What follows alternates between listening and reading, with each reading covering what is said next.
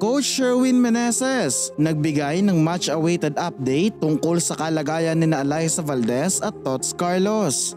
Makakabalik na nga ba sa semis?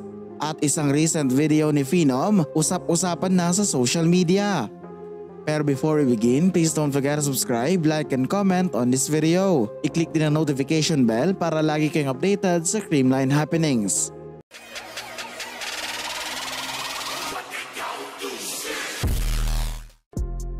It's been a roller coaster ride nga para sa Creamline ang kasalukuyang PVL Reinforced Conference. Matapos ang mapait na pagkatalo sa kanilang first game ay apat na sunod-sunod na panalo ang naitala nila. Pero nitong Martes, tila naging mailap muna ang automatic semi-slot para sa CCS nang pataubin sila ng long-time rival na Petrogas Angels. Hindi gaya ng inasahan ng ilan, wala pa rin sa lineup ang key players nilang sina Eliza Valdez at Tots Carlos. Nauna nang sinabi ni Coach Sherwin na may minor injuries ang dalawa kaya hindi muna sila pinaglalaro. Pero dahil minor injuries lang naman daw ay marami ang nag-expect na magsusuit up na sila sa latter part ng tournament.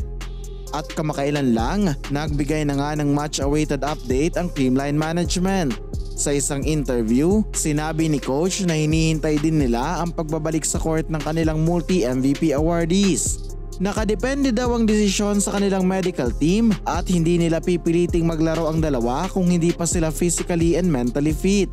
Sinabi pa niya na most probably ay itong current roster ang maglalaro sa semis at sa mga susunod pang part ng reinforced conference. As of now, hindi pa namin sigurado yung ano. Hopefully, maka, maka, makasama sila. Uh, depende kasi, depende kasi sa medical team namin, sa mga PTs namin kung kailan sila makakabalik. Pero hindi pipilitin. So, hopefully, uh, sa tingin ko, yung roster ngayon, Samantala, marami naman ang na-excite nang mapanood ang isang recent video ni Eliza Valdez. Makikita kasi si Phenom na tumatakbo papunta sa kanyang fan. Mabilis din na naakyat ng nasabing player ang ilang flight ng hagdan, indikasyon na maganda ang nagiging takbo ng recovery nito.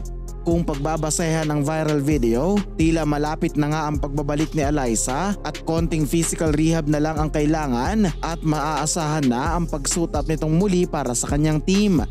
Samantala, nagkaroon naman ng konting ray of hope ang ilang supporters nang makita nila ang new look ni Tots Carlos. Sa latest game kasi ng Creamline vs Petrogas ay nahagip ng kamera ang nasabing player with her new hair color.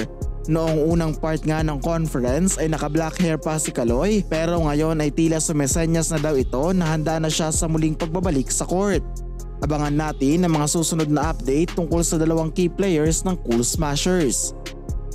And that's it mga Kavali News. Please continue supporting this channel para sa mga up-to-date na kaganapan sa Creamline World.